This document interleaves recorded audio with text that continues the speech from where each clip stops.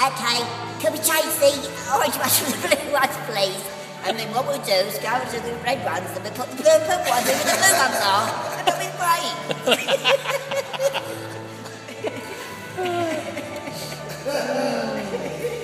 Ha ha ha.